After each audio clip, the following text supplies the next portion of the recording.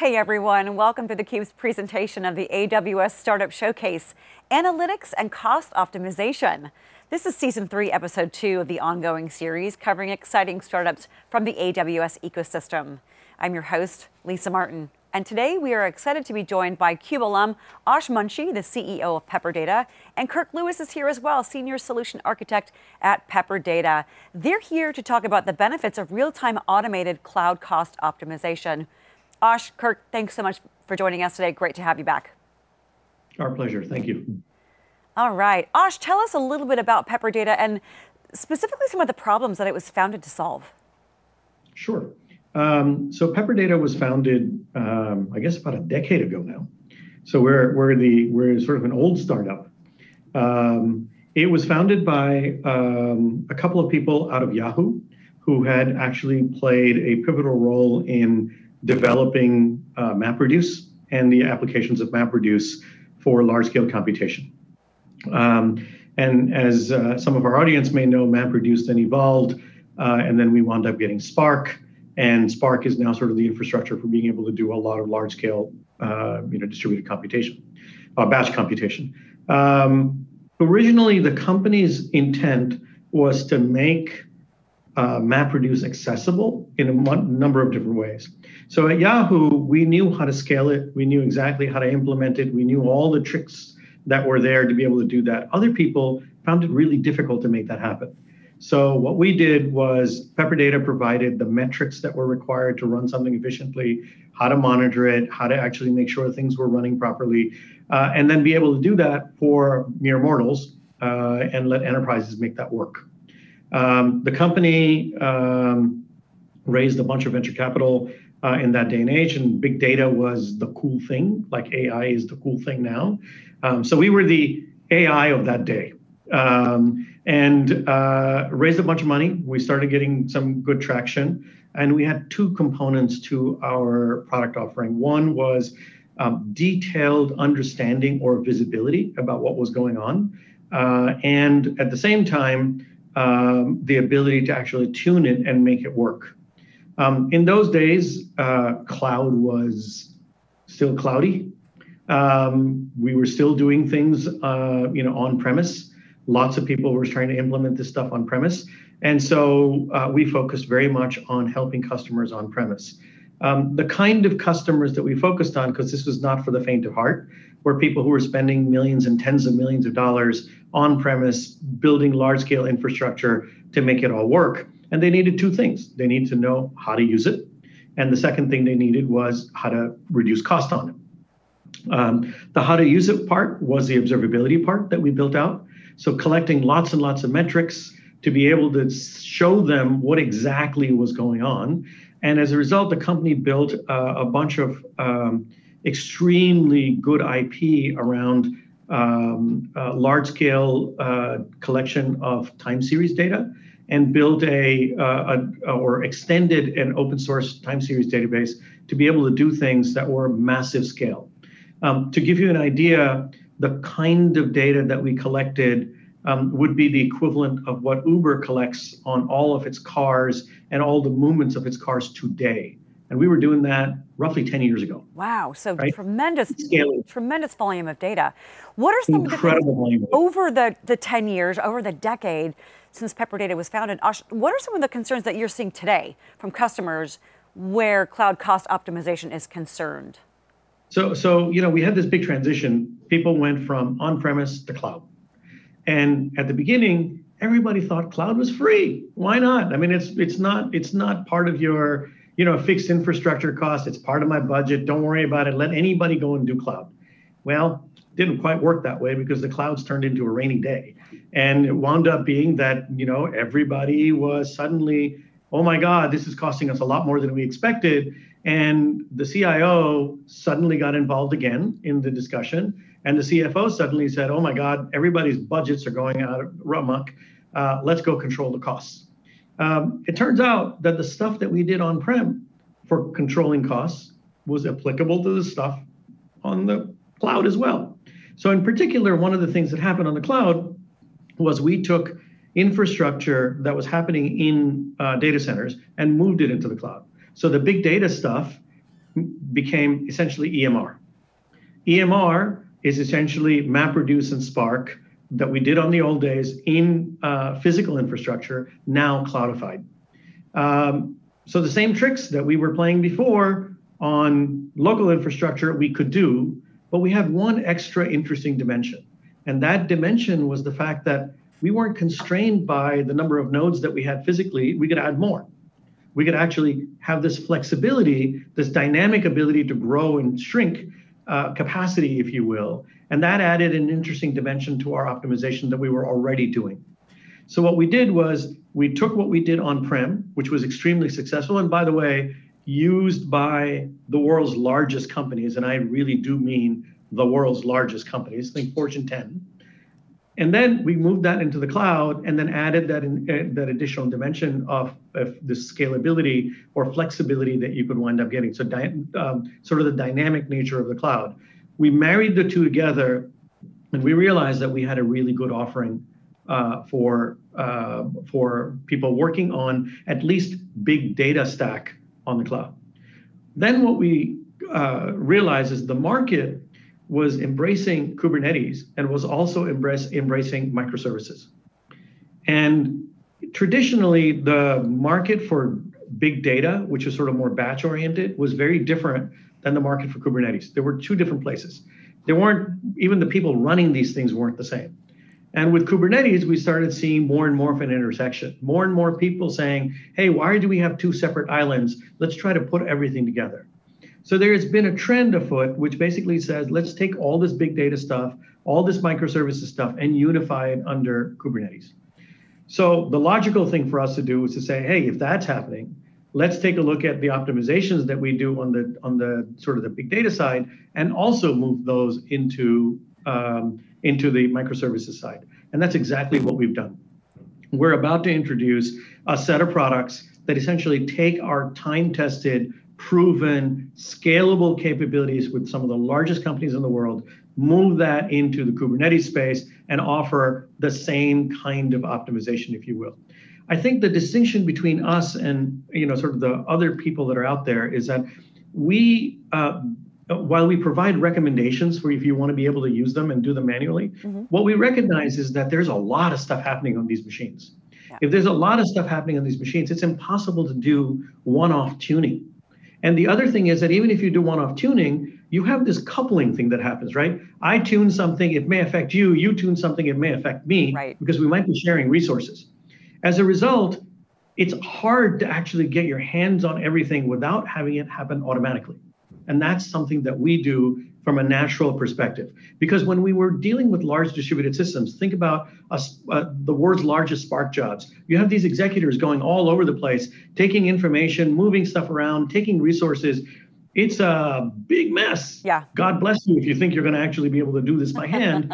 we did this all automatically. Well, it turns out the same kinds of things happen in the other parts of the space as well. So that same technology we've now extended to make it so that you don't have to touch it we actually recognize the inefficiencies that are happening dynamically, take corrective action dynamically, move things around in the right way, and then be able to deal with the scaling part the, of the autoscalers in an appropriate way so that not only are we taking advantage of the hardware that's already allocated, but also the hardware that you're going to allocate that you're growing into, so that both of those two things are solved dynamically in real time. Got it. Do you? That is a big advantage of us. Oh, sorry, Ash. You mentioned Pepperdata being used by some of the world's largest companies. You mentioned the Fortune 10, but I imagine that you see the imperative for cost optimization across companies of every size. Is that right?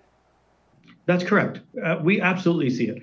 Uh, look, if I look, if I sort of go back a year, maybe a year and a half, uh, even startups had plenty of money because VCs were flush and they were just writing checks. So they didn't really care about that. What they cared about was, you know, market dominance. Let's get out there. Let's go do things.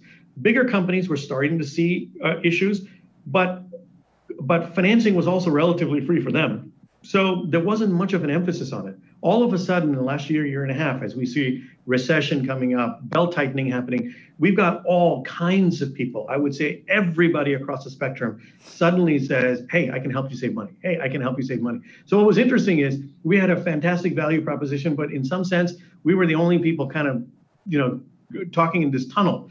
Uh, because if people don't care about saving money, well, you can talk all you want, nobody listens. All of a sudden, we were getting a lot of listens, which is great.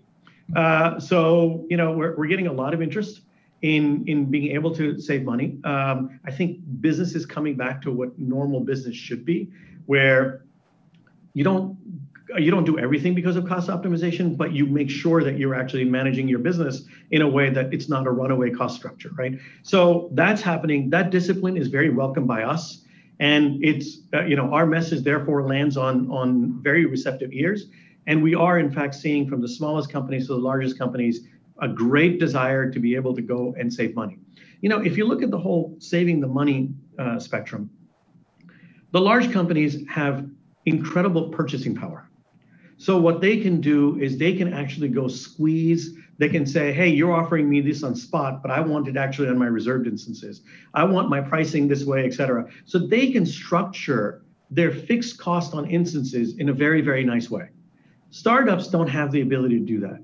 Some of the other people in our showcase here are actually offering effectively that type of service where you can actually arbitrage sort of pricing on the reserve instances and on spot and things of that sort. So you can lower your instance costs to be able to do that.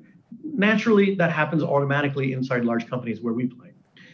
But in both of those two cases even if you've done that you still have the ability to now take what you've got and run it efficiently running it efficiently is extraordinarily important, either side of the coin you're on.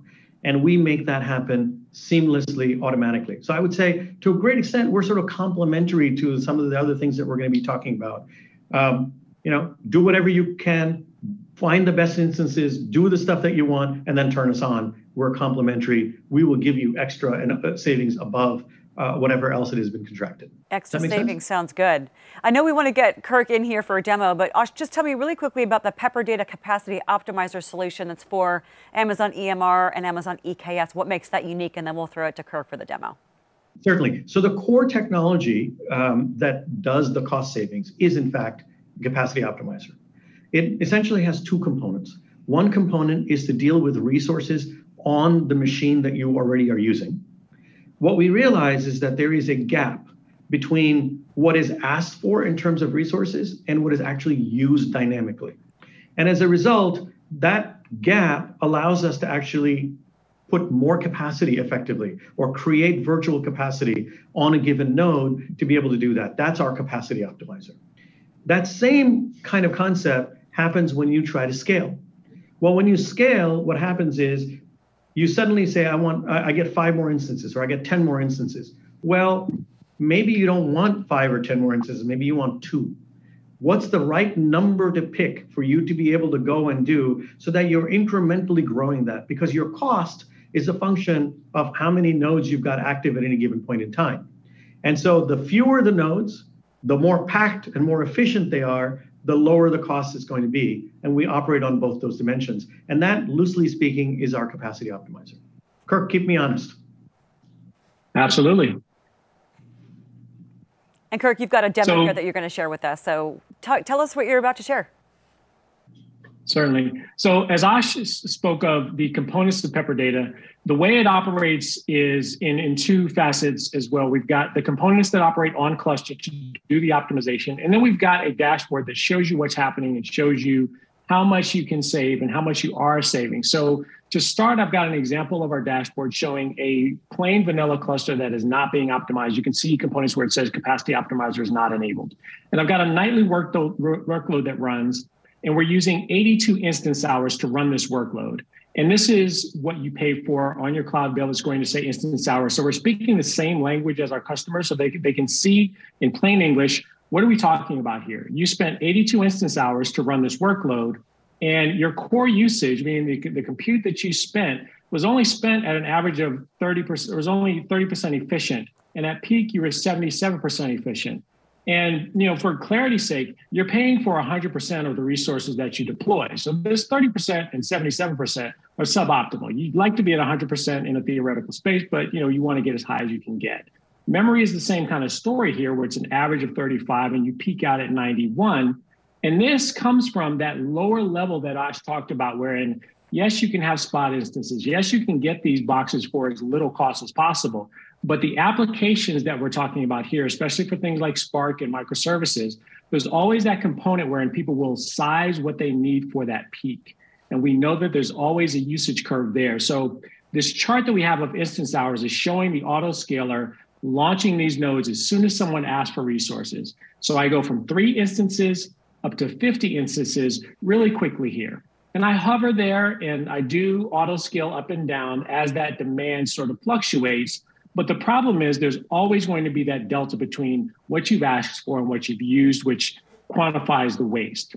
So when you use capacity optimizer, what does that look like? What changes? So now I've got an example of a cluster that is running capacity optimizer, and you can see the full fidelity of what we're showing you here. Core hours saved, we've increased utilization across these nodes on average by about 50% for cores and about 40% for memory. The number of containers, the units of work you were able to run was increased by about 30% and over 100% uplift at peak, meaning there was over 50% waste that we found inside the running applications. And the big number here is we only used 35 instance hours to run that same exact workload. So there was an over 50% increase in the amount of work you got done. And how we pulled that off, if you look at this line here, not only is your number of instances not increasing to 50, but it increases at a much less aggressive rate. And to Ash's point about how we augment the autoscaler, what we did here is for every node that is launched and is running, we augment the autoscaler in a way that says don't launch any more nodes until capacity optimizer packs that node to about 80%, which is configurable, but we shoot for about 80% efficiency at the node level. So when you do that, the autoscaler doesn't have to run as many nodes to do the same work. So we can see as a product of that our average usage at the node level goes up, peak goes up to 90 and 99% here. So really we've solved the problem of, you know, developers have to size those boxes that they're that they're launching at peak, but we know that there's always going to be some waste there. But by doing things dynamically and sampling those applications every few seconds, we don't have to do things like model the workload or restart the applications or retune applications. This all just happens on the fly. And developers, of course, like it because we're not touching their code. And the DevOps guys like it because we're showing them everything that's happening. There's no behind the scenes magic here. We're showing you what we're doing and how much you're earning or how much you're saving as a result. So that is how things operate at the node level, at the op, at the uh, autoscaler level, and then at the cluster level. And what we're doing now is we're serving a different audience in the realm of FinOps and the executives who are not so much concerned about the individual clusters. They want to know what's the what's the overall account look like? What's the enterprise look like? So this new UI treatment that we've done on top of Capacity Optimizer is showing me, for example, over the last 30 days, what's the total compute cost across my, uh, my organization? I may have multiple cloud accounts, and I roll that all up here to about $170,000 compute cost. I can see which clusters or how many clusters are managed by Pepperdata, and we've got a couple that are not. The potential savings here is savings that have not been realized yet. And when I look at this next row, I've got the total compute cost and then this breakdown of realized savings versus potential savings speaks to what is capacity optimizer doing and what could it be doing for you. And from there, when you see something like potential savings, the next natural question is, okay, well, how do I go realize those savings? So we show you your top 10 clusters by compute cost. And you can see the most costly cluster doesn't even have Pepperdata installed. So this is an example wherein, you know, because these eh, organizations are so dynamic, someone may have spun up a cluster and not, not installed Pepperdata. So we're showing you that as an opportunity, even though Pepperdata isn't installed there yet. And then on the optimized clusters, I'll take, for example, this one that's being optimized at a low level. And when I click into it, I can see this control plane for a capacity optimizer where if I want to optimize more aggressively, I can do so.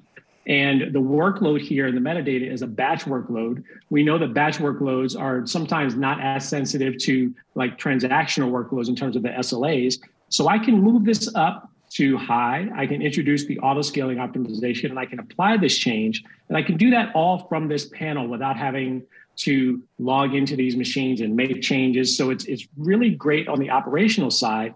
And then my potential savings are from this point on, because we are dynamic in real time, will start to transfer over to this realized savings bucket. So all of this happens without developers having to change anything, without the DevOps guys having to get involved. We do have support for change control systems on the back end so that things are also tracked. But what we're doing here is we're serving that audience that wants to know at a high level, you know, how am I how am I doing in, in terms of efficiency? And when I look at the product of this across the board, there was that cluster that didn't have Pepperdata installed. And I'll show an example here of a install.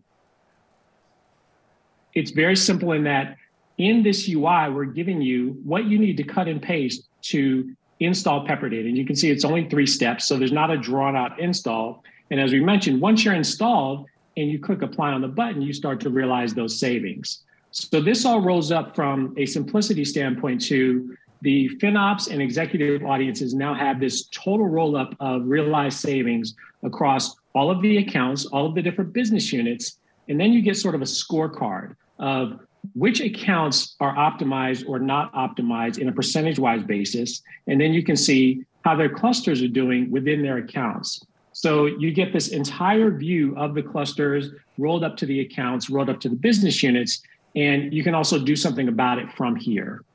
So with that, it's really uh, the, the, the entire spectrum from the low level to the high level to show how Pepperdata Capacity Optimizer is impacting and quantifying the ability to see and optimize what's being wasted in these environments. Wow, so great visibility. You can see core usage, identifying waste with Capacity Optimizer. I saw you mention core hours saved, uh, more than a 50% increase in work done. And you get that whole holistic picture of what the enterprise looks like. Guys, thank you so much for coming on the program, talking to us about Pepperdata Capacity Optimizer and the huge impact that it's enabling customers to make. We really appreciate your time and your insights. Thank you. And we want to thank you for watching and say keep it right here on theCUBE for more action, your leader in tech coverage.